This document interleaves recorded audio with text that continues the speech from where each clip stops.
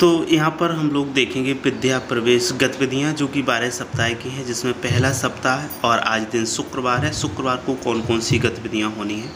तो सबसे पहले मॉर्निंग सर्कल टाइम ये गतिविधियाँ डेली आपको करवानी है और स्वतंत्र खेल ये आपको डेली करवानी है।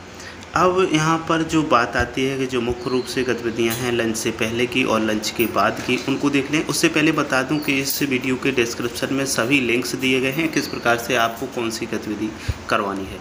तो आप शुरू करते हैं आज की, यानी कि शुक्रवार की जो गतिविधियाँ हैं। तो शुक्रवार की जो गतिविधियाँ हैं, उसमें सबसे पहले बच्चों को पहले दिन सुनाई गई कहानी के आधार पर कोई भी चित्र बनाने को कहेंगे। यानी कि जो फ़र्स्ट डे में आपने जो भी कहानियाँ सुनाई हो, जैसे कि खरगोश और कछुआ वाली कहानी सुनाई थी, उसी के आधार पर फिर से आप एक बार सुना दें तो बहुत अच्छा रहेगा। और उसके बाद में बच्चों से कहें, चलो इस कहानी के चित्र बनाइएगा। तो वो बच्चे कुछ ना कुछ ज़रूर ऐसा बनाएँगे जिससे आपको अजीब लगेगा और बच्चे कुछ सीखेंगे भी। उसके बाद में दूसरा टाइम यानी कि दूसरा जो काम करेंगे आप क्रम्बल करना, मोड़ तोड़ कागज़ की छोटी गेंद बनाना। उस दिन आपने बड़ी गेंद बनवाई थी, आज आप इसकी छोटी गेंद बनवाइएगा, क्योंकि अब बच्चों के हाथ थोड़ी थोड़ी उंगलियाँ जो है वो मज़बूत होना शुरू हो गई हैं तो अब वो कागज़ को दबा सकते हैं।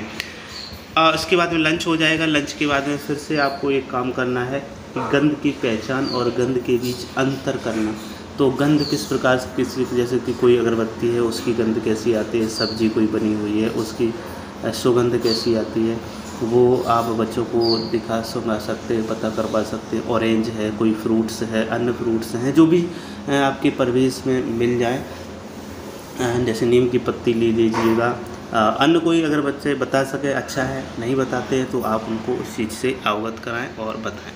इसके बाद में गोल गोल धप, ये खेल आपको बच्चों के साथ करवाना है। तो बच्चे बड़ा इंटरेस्ट के साथ इस खेल में भाग लेंगे और इस खेल को कैसे करवाना है उसके पहले ही बता दिया आपको। इस वीडियो के डिस्क्रिप्शन में लिंक मिल जाएँगे, वहाँ से क्लिक करके आप इन्हें देख सकते हैं। इसके बाद में शिक्षक सबसे अच्छा कौन लगता है विषय पर बच्चों के साथ चर्चा करें। बच्चे बताएँगे कि कौन सा शिक्षक सबसे अच्छा लगता है और क्यों लगता है। तो ऐसे थोड़ा डिटेल में आप बच्चों के साथ जब चर्चा करेंगे तो बच्चे अपने विचारों को व्यक्त करेंगे और इससे बहुत कुछ वो सीखेंगे। क्योंकि हमें अभी जो बारह सप्ताह का कार्यक्रम बालीवाट का यानी कि जो आंगनबाड़ी के पाँच प्लस के बच्चे हैं और साथ ही साथ कक्षा एक के बच्चे हैं, उनको बोलना सिखाना है, क्योंकि कोरोना काल के समय में बच्चे जो पिछड़ पिछड़ गए हैं, उन्हें फ्रंट लाइन पर लाना है, ये काम करना है। तो इस प्रकार से ये आज की गतिविधियाँ हैं, इन्हें आपको क्रम से करवाइएगा और